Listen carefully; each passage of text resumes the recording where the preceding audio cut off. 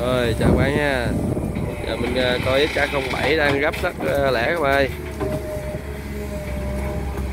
Ôi quá là xa luôn.